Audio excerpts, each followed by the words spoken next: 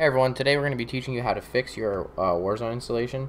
If um, your game pops up and it says um, the recommended graphic settings have changed, or if the shaders install every single time, or if it says the game did not shut down properly, or if your settings do not save um, every time you close your game, then this video is for you. Um, there are a couple things that you can do to fix these issues, and um, it's pretty simple. All you have to do is click on the settings cog here and once you click on the settings cog, you're going to go ahead and click on scan and repair.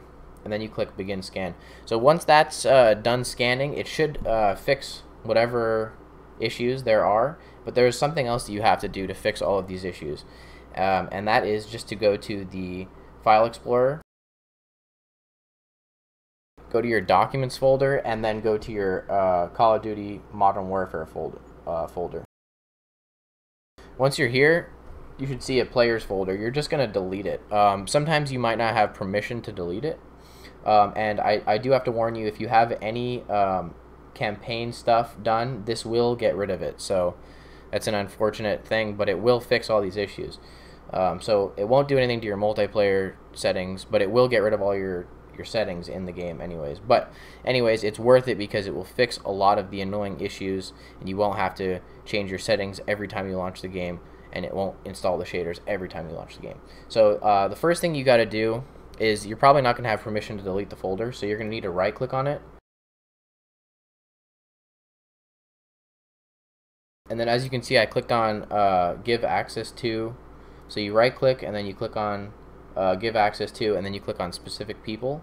And then you select yourself and then click share. Once you click uh, share, you should now be able to delete this folder. Once you delete this folder and you uh, launch your game, remember you have to repair it first. Once you launch your game, it's going to start fresh and it's going to play the intro video. After that, it's going to have you configure some of your settings. After you're done with that, it might bug out and go to a black screen, in which case you're going to have to force quit Warzone. If it doesn't do that, then it's going to start installing the shaders. Once it's done installing the shaders, it will never do it again. So that is the fix. Once it's uh, so I would uh, essentially close the game after it's done installing the shaders. Then I would restart the game, go in, change my settings, right? Whatever I want, configure my settings, click uh, apply, and then close the game normally.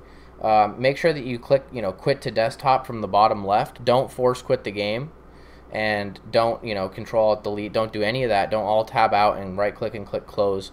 Click quit to desktop from the game uh, after you you know change your settings. Now the next time you open Warzone, uh, it will say installing shaders, but it will say 100%, and it will be done within seconds.